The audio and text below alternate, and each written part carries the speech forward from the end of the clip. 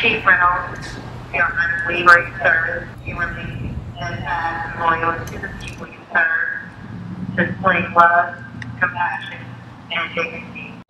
We have one.